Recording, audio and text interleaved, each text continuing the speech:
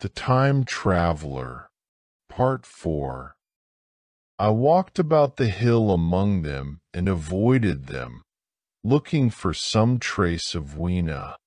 But Weena was gone.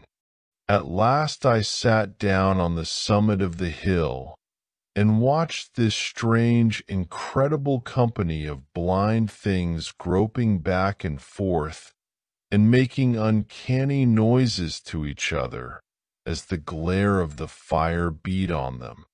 The coiling uprush of smoke streamed across the sky, and through the rare tatters of that red canopy, remote as though they belonged to another universe, shone the little stars.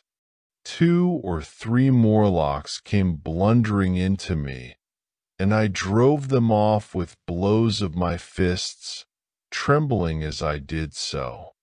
For the most part of that night, I was persuaded it was a nightmare. I bit myself and screamed in a passionate desire to awake. I beat the ground with my hands and got up and sat down again and wandered here and there and again sat down. Then I would fall to rubbing my eyes and calling upon God to let me awake. Three times I saw Morlocks put their heads down in a kind of agony and rush into the flames. But at last, above the subsiding red of the fire, above the streaming masses of black smoke and the whitening and blackening tree stumps, and the diminishing numbers of these dim creatures came the white light of the day. I searched again for traces of Weena, but there were none. It was plain that they had left her poor little body in the forest.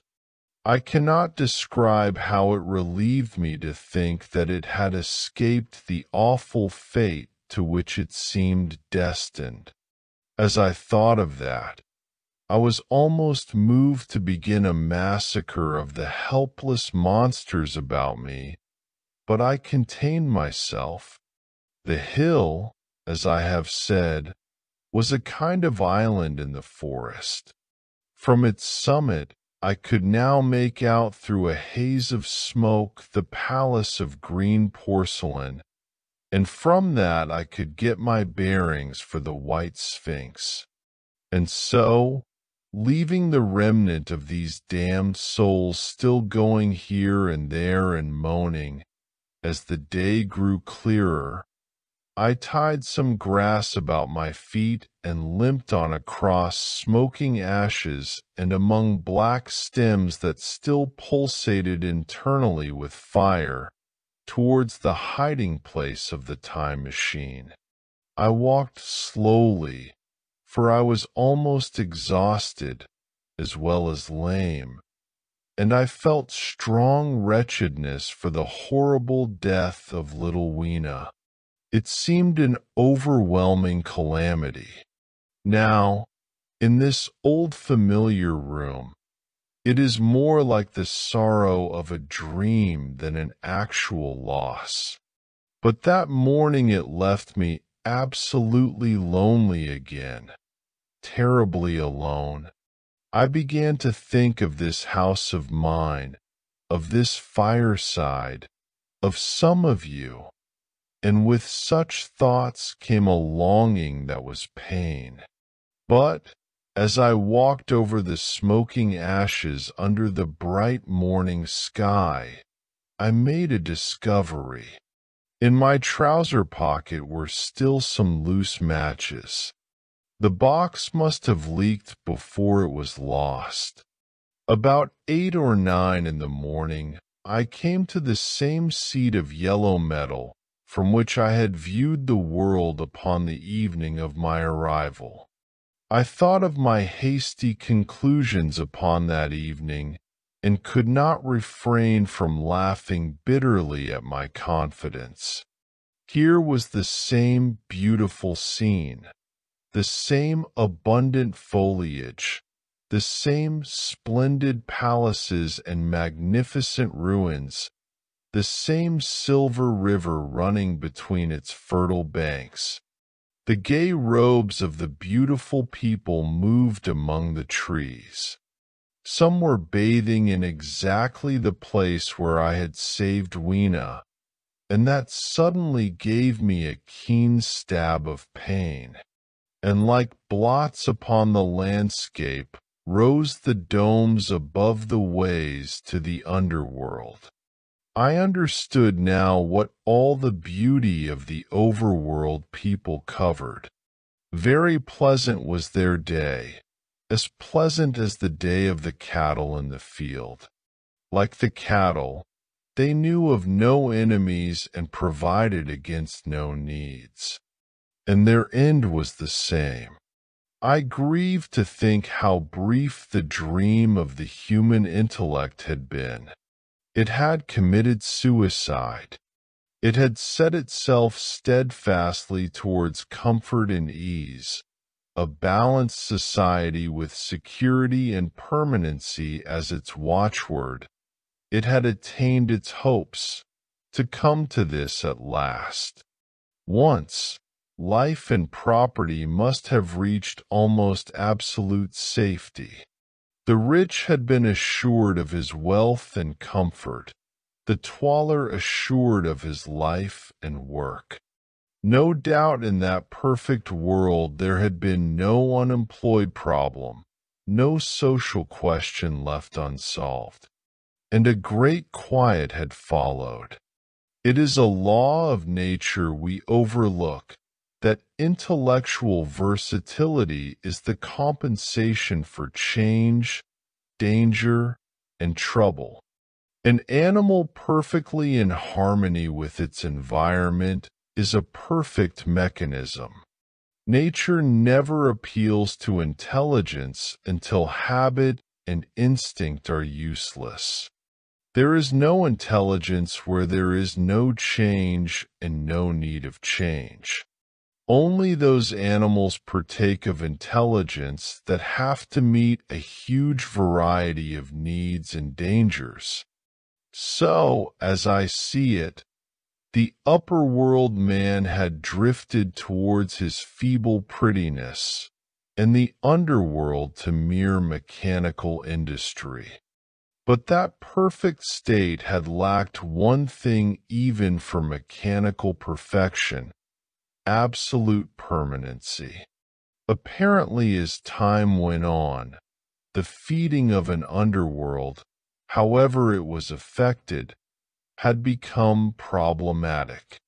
Mother Necessity, who had been staved off for a few thousand years, came back again, and she began below.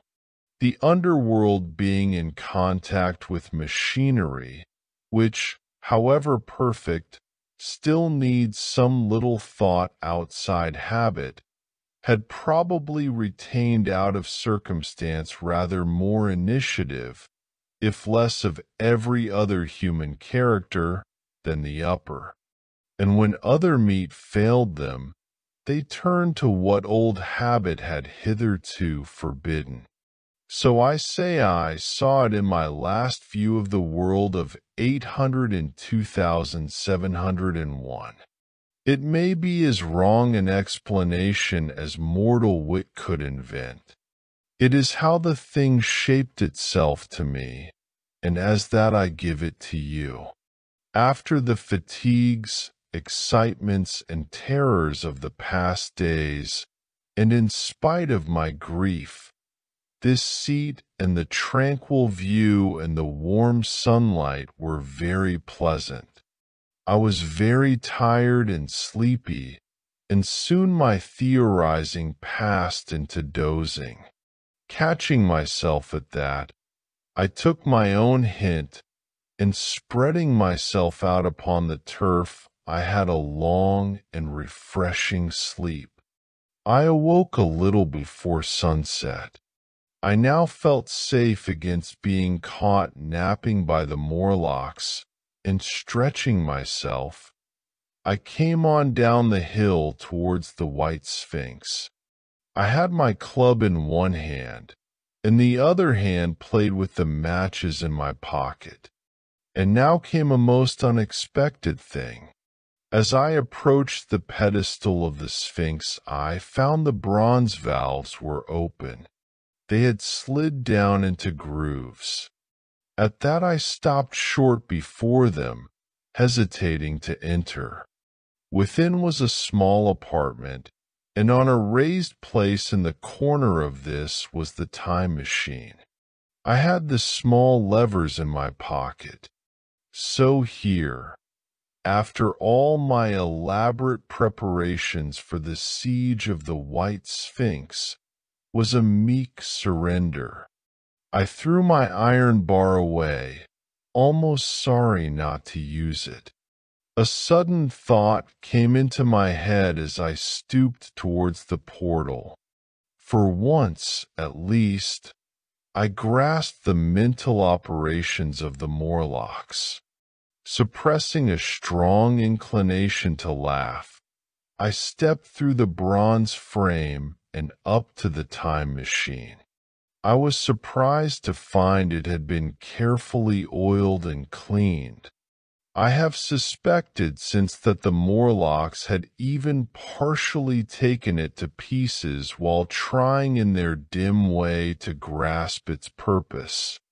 Now as I stood and examined it, finding a pleasure in the mere touch of the contrivance, the thing I had expected happened. The bronze panel suddenly slid up and struck the frame with a clang. I was in the dark, trapped. So the Morlocks thought.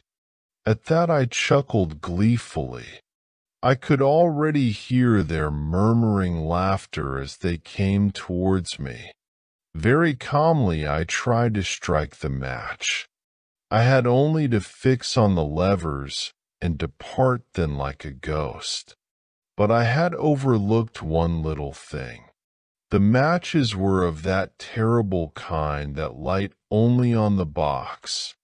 You may imagine how all my calm vanished. The little brutes were close upon me. One touched me. I made a sweeping blow in the dark at them with the levers and began to scramble into the saddle of the machine. Then came one hand upon me, and then another. Then I had simply to fight against their persistent fingers for my levers, and at the same time feel for the studs over which these fitted. One, indeed, they almost got away from me. As it slipped from my hand, I had to butt in the dark with my head. I could hear the Morlock's skull ring to recover it. It was a nearer thing than the fight in the forest, I think, this last scramble. But at last the lever was fixed and pulled over. The clinging hand slipped from me. The darkness presently fell from my eyes. I found myself in the same gray light and tumult I have already described. I have already told you of the sickness and confusion that comes with time traveling. And this time I was not seated properly in the saddle, but sideways and in an unstable fashion. For an indefinite time I clung to the machine as it swayed and vibrated, quite unaware of how I went. And when I brought myself to look at the dials again, I was amazed to find where I had arrived. One dial records days, and another thousands of days, another millions of days, and another thousands of millions. Now, Instead of reversing the levers, I had pulled them over so as to go forward with them. And when I came to look at these indicators, I found that the thousand's hand was sweeping round as fast as the second's hand of a watch into the future. As I drove on, a peculiar change crept over the appearance of things. The changing grayness grew darker, Then, though I was still traveling with prodigious velocity, the blinking succession of day and night, which was usually indicative of a slower pace, returned and grew more and more marked. This puzzled me very much at first. The alternations of night and day grew slower and slower, and so did the passage of the sun across the sky, until they seemed to stretch through centuries. At last a steady twilight brooded over the earth, a twilight only broken now and then when a comet glared across the dark sky. The band of light that had indicated the sun had long since disappeared, for the sun had ceased to set. It simply rose and fell in the west, and grew ever broader and more red. All trace of the moon had vanished. The circling of the stars, growing slower and slower, had given place to creeping points of light. At last, some time before I stopped, the sun, red and very large, halted motionless upon the horizon, a vast dome glowing with a dull heat, and now and then suffering a momentary extinction. At one time it had for a little while glowed more brilliantly again, but it speedily reverted to its sullen red heat. I perceived by this slowing down of its rising and setting that the work of the tidal drag was done. The earth had come to rest with one face to the sun, even as in our own time the moon faces the earth very cautiously, for I remembered my former headlong fall. I began to reverse my motion. Slower and slower went the circling hands until the thousands one seemed motionless, and the daily one was no longer a mere mist upon its scale. Still slower, until the dim outlines of a desolate beach grew visible. I stopped very gently and sat upon the time machine, looking round. The sky was no longer blue. Northeastward it was inky black, and out of the blackness shone brightly and steadily the pale white stars. Overhead it was a deep Indian red and starless, and southeastward it grew brighter to a glowing scarlet where, cut by the horizon, lay the huge hull of the sun, red and motionless. The rocks about me were of a harsh reddish color, and all the trace of life that I could see at first was the intensely green vegetation that covered every projecting point on their southeastern face. It was the same rich green that one sees on forest moss or on the lichen in caves. Plants which like these grow in a perpetual twilight. The machine was standing on a sloping beach, the sea stretched away to the southwest, to rise into a sharp, bright horizon against the wan sky. There were no breakers and no waves, for not a breath of wind was stirring. Only a slight oily swell rose and fell like a gentle breathing, and showed that the eternal sea was still moving and living and along the margin where the water sometimes broke was a thick crust of salt, pink under the lurid sky. There was a sense of oppression in my head, and I noticed that I was breathing very fast. The sensation reminded me of my only experience of mountaineering, and from that I judged the air to be more thin than it is now. Far away up the desolate slope I heard a harsh scream, and saw a thing like a huge white butterfly go slanting and fluttering up into the sky and, circling, disappear over some low hills beyond. The sound of its voice was so dismal that I shivered and seated myself more firmly upon the machine. Looking round me again, I saw that, quite near, what I had taken to be a reddish mass of rock was moving slowly towards me.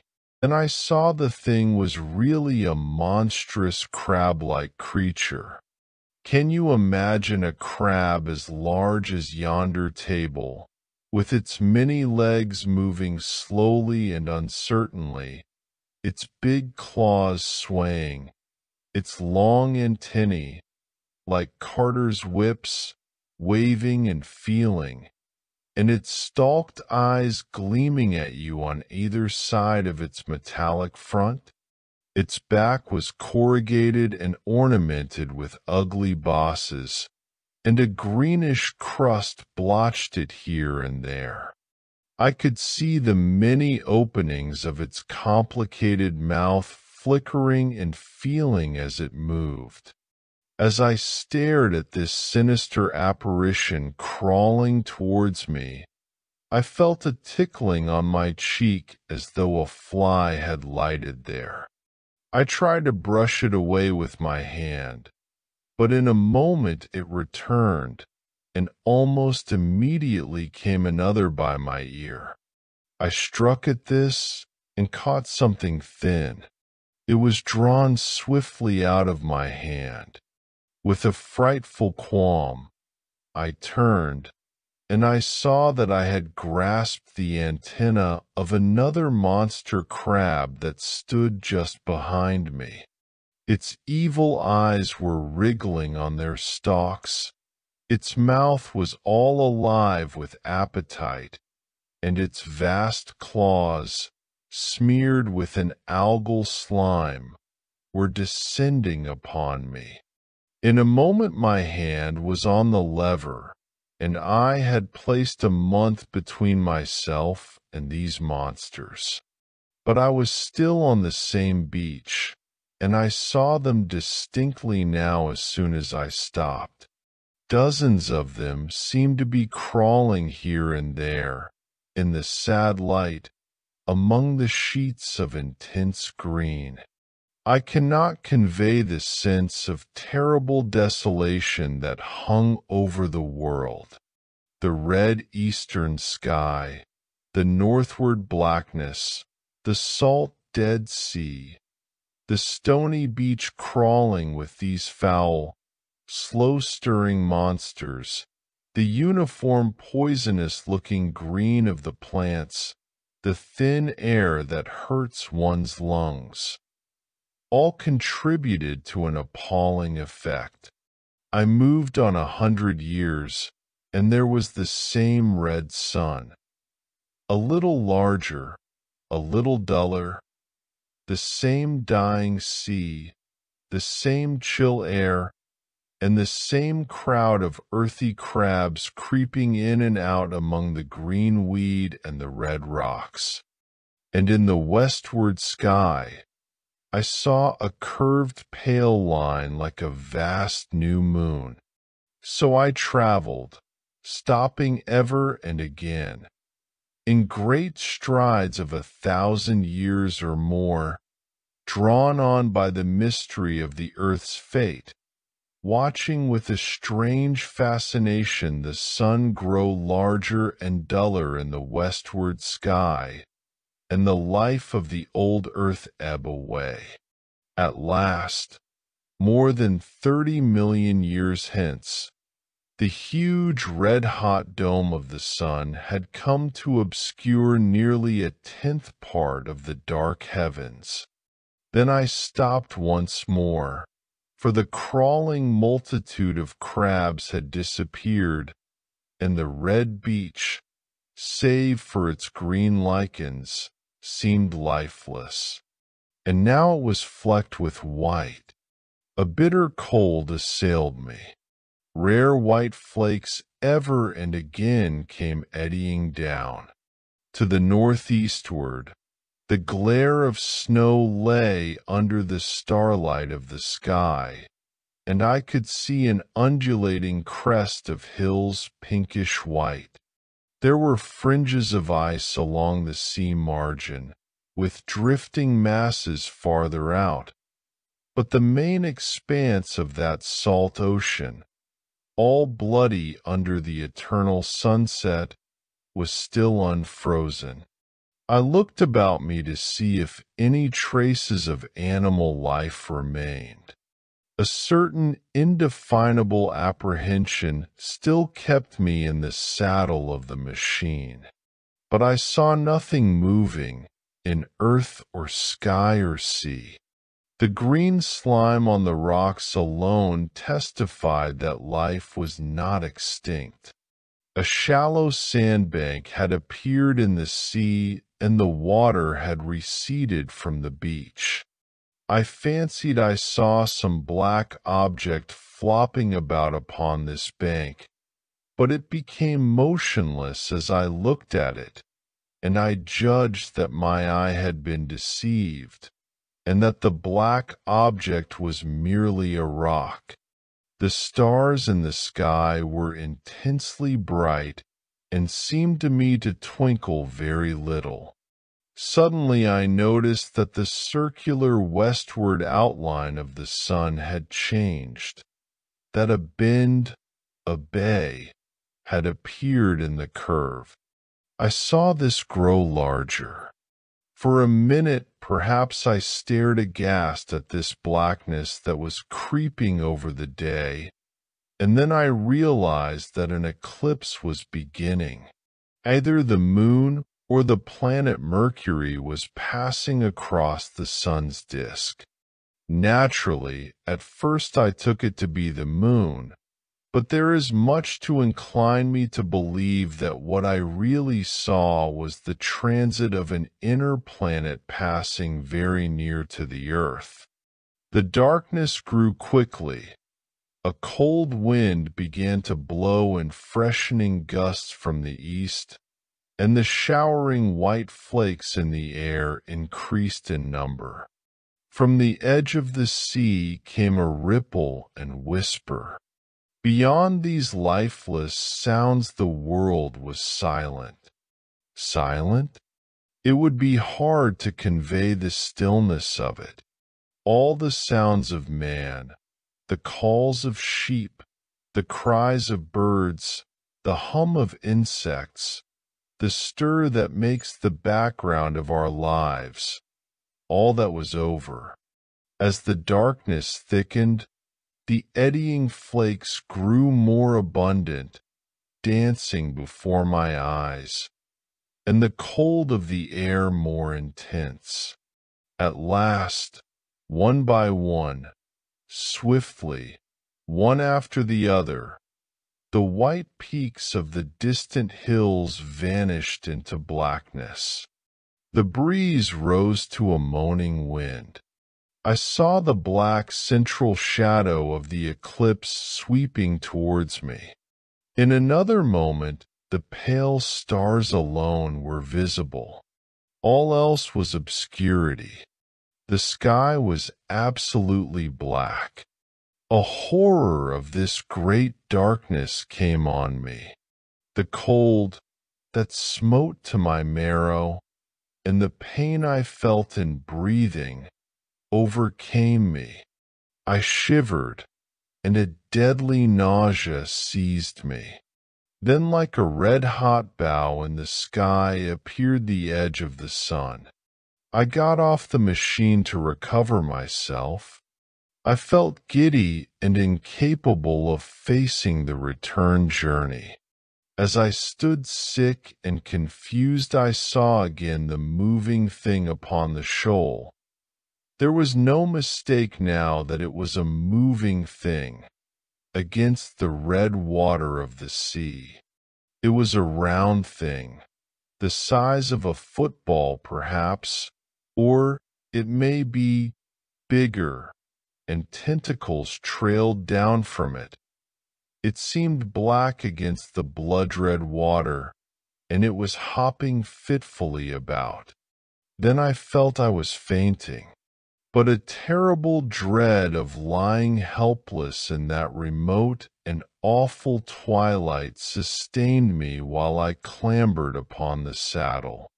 So I came back. For a long time I must have been quiet upon the machine. The blinking succession of the days and nights was resumed. The sun got golden again, the sky blue. I breathed with greater freedom.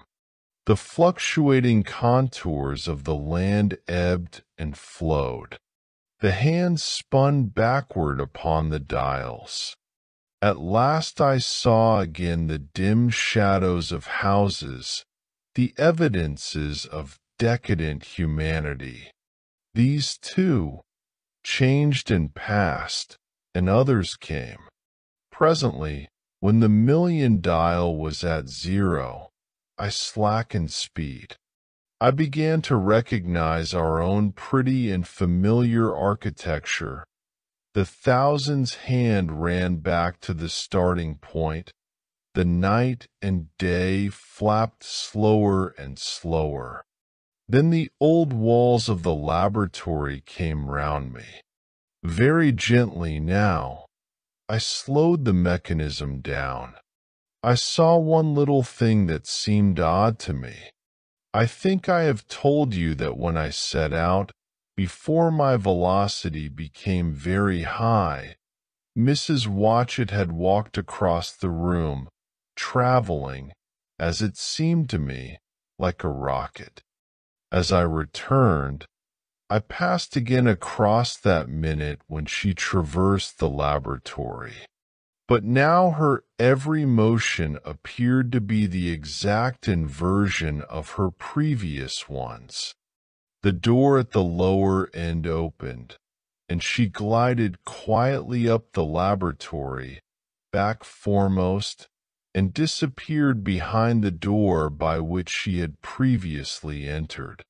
Just before that I seemed to see Hillier for a moment, but he passed like a flash. Then I stopped the machine and saw about me again the old familiar laboratory my tools, my appliances just as I had left them. I got off the thing very shakily and sat down upon my bench. For several minutes I trembled violently. Then I became calmer. Around me was my old workshop again, exactly as it had been. I might have slept there, and the whole thing have been a dream. And yet, not exactly. The thing had started from the southeast corner of the laboratory. It had come to rest again in the northwest, against the wall where you saw it. That gives you the exact distance from my little lawn to the pedestal of the White Sphinx, into which the Morlocks had carried my machine. For a time my brain went stagnant. Presently I got up and came through the passage here, limping, because my heel was still painful and feeling dirty. I saw the newspaper on the table by the door. I found the date was indeed today, and looking at the timepiece, saw the hour was almost eight o'clock. I heard your voices and the clatter of plates. I hesitated. I felt so sick and weak. Then I sniffed good wholesome meat and opened the door on you. You know the rest. I washed and dined, and now I am telling you the story. I know, he said, after a pause, that all this will be absolutely incredible to you. But to me, the one incredible thing is that I am here tonight in this old familiar room looking into your friendly faces and telling you these strange adventures. He looked at the medical man. No, I cannot expect you to believe it. Take it as a lie or a prophecy. Say I dreamed it in the workshop. Consider I have been speculating upon the destinies of our race until I have hatched this fiction. Treat my assertion of its truth as a mere stroke of art to enhance its interest. And taking it as a story, what do you think of it? He took up his pipe and began, in his old accustomed manner, to tap with it nervously upon the bars of the grate. There was a momentary stillness. Then chairs began to creak and shoes to scrape upon the carpet. I took my eyes off the time traveler's face and looked round at his audience. They were in the dark, and little spots of color swam before them. The medical man seemed absorbed in the contemplation of our host. The editor was looking hard at the end of his cigar. The sixth. The journalist fumbled for his watch. The others, as far as I remember, were motionless. The editor stood up with a sigh. What a pity it is you're not a writer of stories, he said, putting his hand on the time traveler's shoulder. You don't believe it? Well, I thought not. The time traveler turned to us. Where are the matches? he said. He lit one and spoke over his pipe, puffing. To tell you the truth, I hardly believe it myself. And yet, his eye fell with a mute inquiry upon the withered white flowers upon the little table. Then he turned over the hand holding his pipe, and I saw he was looking at some half-healed scars on his knuckles. The medical man rose, came to the lamp, and examined the flowers. The flower is odd, he said. The psychologist leant forward to see, holding out his hand for a specimen. I'm hanged if it isn't a quarter to one, said the journalist. How shall we get home? Plenty of cabs at the station, said the psychologist. It's a curious thing, said the medical man, but I certainly don't know the natural order of these flowers. May I have them? The time traveler hesitated. Then suddenly, certainly not. Where did you really get them? said the medical man. The time traveler put his hand to his head. He spoke like one who was trying to keep hold of an idea that eluded him. They were put into my pocket by Weena when I traveled into time. He stared round the room. I'm damned if it isn't all going. This room and you and the atmosphere of every day is too much for my memory. Did I ever make a time machine? or a model of a time machine? Or is it all only a dream? They say life is a dream, a precious poor dream at times. But I can't stand another that won't fit. It's madness. And where did the dream come from? I must look at that machine, if there is one. He caught up the lamp swiftly and carried it flaring red, through the door into the corridor. We followed him.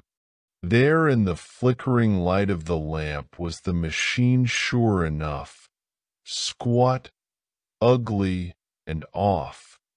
A thing of brass, ebony, ivory, and translucent glimmering quartz, solid to the touch, for I put out my hand and felt the rail of it, and with brown spots and smears upon the ivory, and bits of grass and moss upon the lower parts, and one rail bent awry.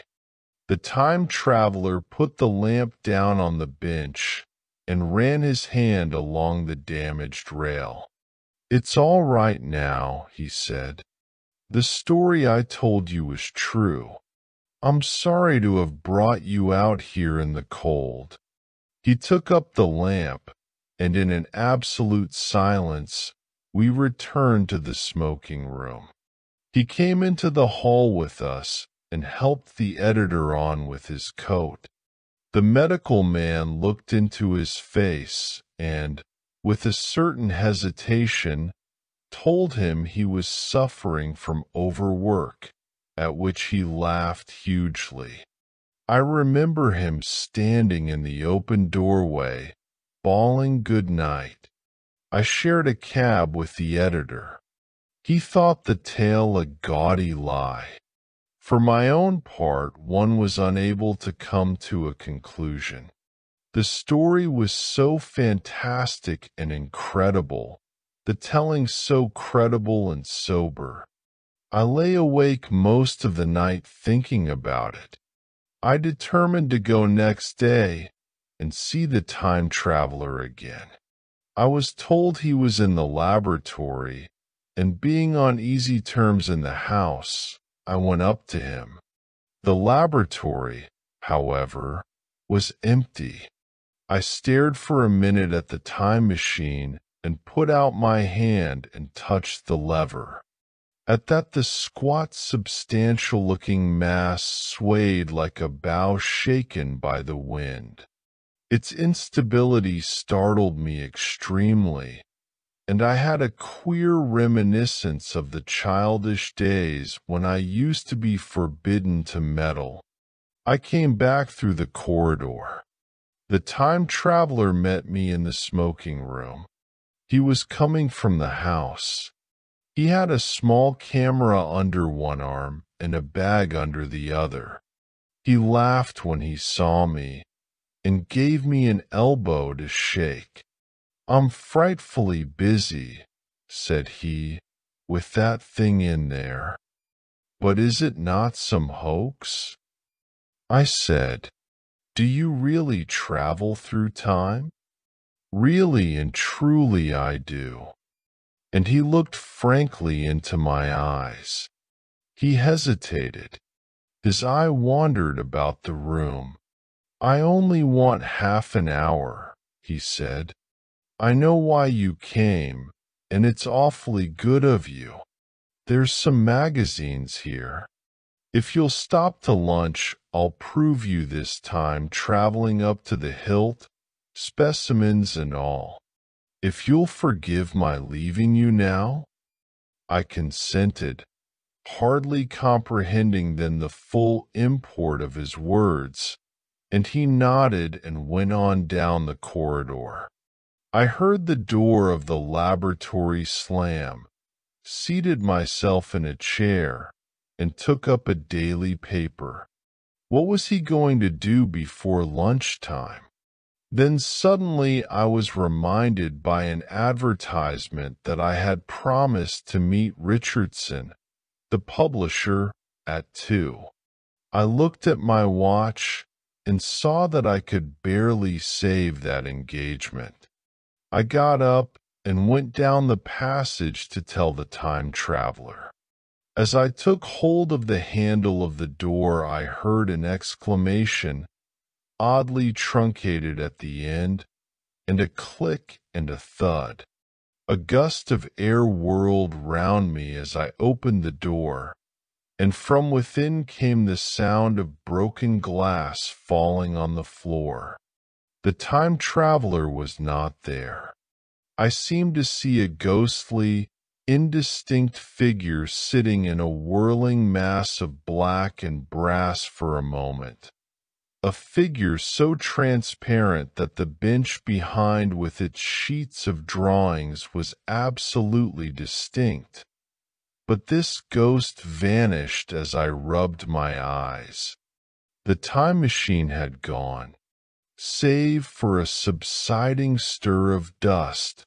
The further end of the laboratory was empty. A pane of the skylight had, apparently, just been blown in.